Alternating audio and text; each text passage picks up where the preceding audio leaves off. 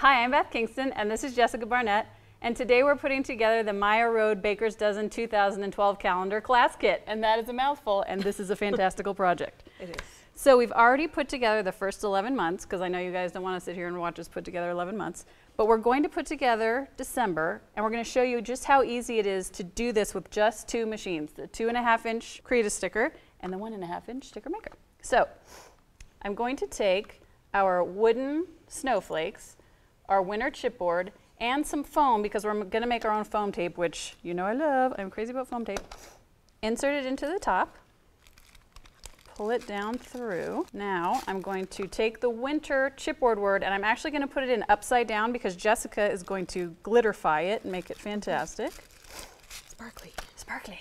And I'm also going to put in these wooden snowflakes that I've already gone ahead and inked. But what I think is so cool is these, this is wood. These are pretty hefty embellishments and they go right through, which is nice because then you're not having to worry about trying to use a glue pen to put it down and it just goes through so evenly. So I'm gonna give those to you so you can start glittering and such. I'm gonna take the two and a half inch Create-a-Sticker and I'm actually just gonna run our December month right through it, just like we did with all the other months. Insert it here. How's it going over there, Jessica? Super. What are you doing?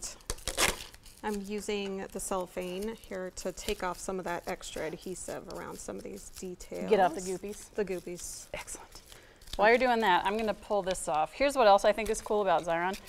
The paper at the bottom, you can actually tear it so that I can take this foam tape away from you and actually start working on the project while you are glittering. We brought this tape. Stealing my stuff. I know, I am sorry. So now I'm cutting off the backing. And you can make this foam tape with the one and a half inch, you can make it with the nine inch, whatever size foam you got, you can make your own foam tape. How's it glittering going? super messy. but it's like super it. awesome. I'm gonna cut a pretty big chunk of foam tape, um, which is a, another thing I like about making your own is because most foam tape comes in little tiny squares Mhm. and you'd have to use like 12 of them on here, but no, I'm just gonna take this big old piece, lay that down. Now I'm gonna lay down a circle, put my December right on top of it. Here, the only trick is you've, I've already punched some holes in the sides of my um, bottle cap, so I got to make sure I got them all lined up before I actually start laying stuff down. So there we go. December. All right, let's decorate this beautifulness. Okay.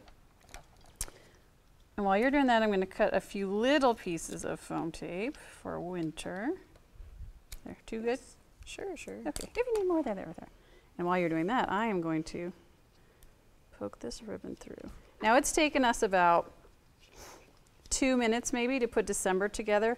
So we were able to put this entire project together in less than an hour. It's such a great way to kick off the year, get your kind of inspiration going again after all the holidays, Mm-hmm. and of making projects for everyone else. Now you can make something for you.